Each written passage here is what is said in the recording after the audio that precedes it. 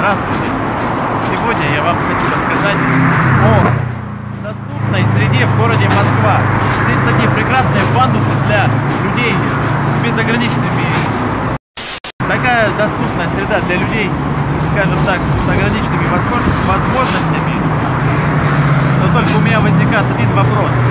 Городские власти сделали здесь пандус, но только я не знаю, как же по нему мне спуститься, если и даже мне будет помогать два здоровых качка. Можно теперь показать.